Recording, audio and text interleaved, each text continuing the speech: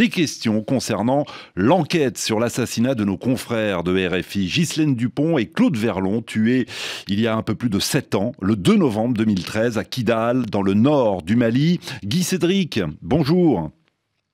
Bonjour Juan Gomez, bonjour à tous les auditeurs du RFI. Soyez le bienvenu, vous nous appelez d'Abidjan, en Côte d'Ivoire. Nous vous écoutons.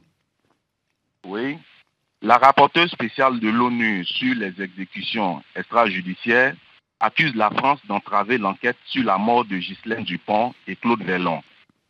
Là-dessus, j'ai deux questions. Mhm. Sur quel élément se base-t-elle pour l'affirmer? Ah, bonne question effectivement que vous posez euh, dans une lettre adressée au gouvernement français. Agnès Calamar accuse effectivement l'armée française d'entraver l'enquête. Elle dénonce, je cite, des zones d'ombre troublantes. Bonjour David Bachet. Bonjour Juan. Journaliste. vous êtes journaliste au service Afrique euh, de RFI. David, vous êtes de ceux qui, au sein de la rédaction, travaillent sur l'enquête sur l'assassinat de Ghislaine Dupont et Claude Verlon. Sur quels éléments Agnès Calabar se base-t-elle pour dénoncer euh, une entrave à l'enquête euh, judiciaire? Alors dans cette lettre que, les Nations que les Nations Unies ont publiée, hein, elle n'est pas secrète, Agnès Calamar cite certaines sources. D'abord, elle cite un grand nombre de documents qui sont dans le domaine public. Elle cite expressément des articles de presse, euh, des enquêtes menées par RFI, par exemple, mais aussi par Le Monde ou par France Télévisions. Elle cite des rapports militaires, elle cite également des experts qu'elle a pris la peine de solliciter elle-même, notamment sur le milieu djihadiste ou sur le droit international malien et français. C'est ce qui lui permet, par exemple, de s'étonner, de regretter même qu'aucun mandat d'arrêt n'ait été lancé contre les auteurs présumés de l'assassinat à commencer par Seylan Ita, présumé commanditaire.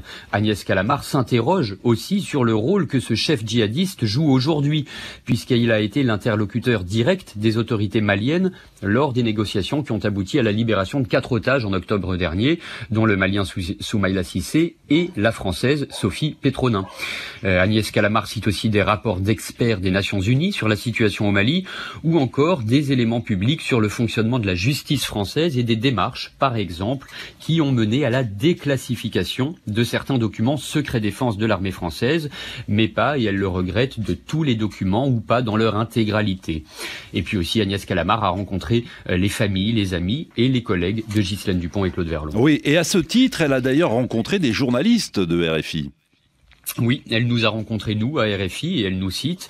Elle a souhaité nous rencontrer, en fait, pour mieux comprendre dans quelles circonstances Ghislaine et Claude étaient partis à Kidal, euh, quelles mesures de protection ils avaient pris, et quels dispositifs ils avaient aussi souhaité éviter.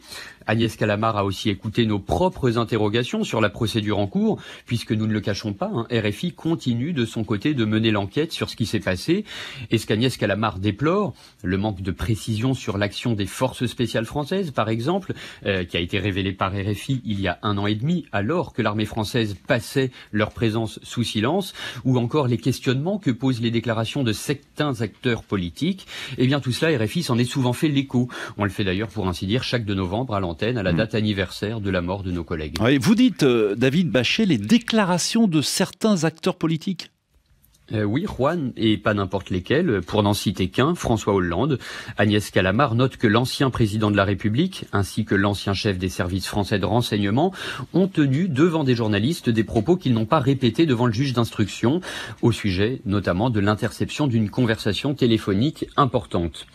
Enfin, la rapporteuse spéciale Agnès Calamar utilise des formules comme euh, d'après les informations reçues ou selon les informations euh, disponibles, qui sont un peu plus vagues, mais à la lecture de son travail, et c'est pour bien répondre euh, à votre question, Guy Cédric, on comprend qu'évidemment Agnès Calamar a elle-même mené une enquête minutieuse, mm. non pas sur le fond de l'affaire, hein, mais sur les démarches entreprises depuis pour faire avancer la procédure judiciaire en cours en France. Hein. c'est ça l'objet de son travail. Et un peu comme, euh, comme une journaliste, elle ne cite pas toutes ses sources pour les protéger, mais on comprend qu'elle a recueilli des informations, des analyses qui lui ont permis d'établir ses conclusions, euh, des conclusions qui sont donc très dures pour les autorités françaises et pour l'armée française notamment. Oui, Guy Cédric, vous disiez avoir deux questions. La deuxième. Oui, j'ai une deuxième question. Comment les proches des victimes ont réagi à ces conclusions? David Bachet. Bah, Ces conclusions ont suscité beaucoup d'espoir, hein, beaucoup d'attentes évidemment. Euh, déjà sur notre antenne, Danielle Gonneau, qui est la présidente de l'association des amis de Ghislaine Dupont et Claude Verlon, euh, qui est partie civile dans la procédure, elle a espéré que cette démarche puisse constituer, là je la cite, un soutien pour le juge d'instruction, pour qu'il puisse avancer dans son dossier, et notamment pour obtenir la déclassification de nouveaux documents de l'armée française qui permettraient de mieux comprendre certains éléments, euh, comment s'est déroulée la tentative de poursuite des ravisseurs par les forces spéciales, dans quelles circonstances nos collègues Ghislaine et Claude ont été exécutés si rapidement après avoir été enlevés? Et en ce qui nous concerne, nous, à RFI, euh, eh bien, nous partageons ces mêmes espoirs.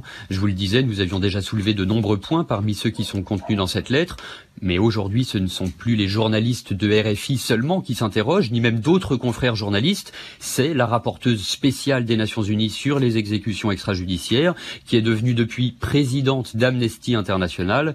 Donc nous espérons également que sa parole aura un poids euh, que nos reportages n'ont peut-être pas eu.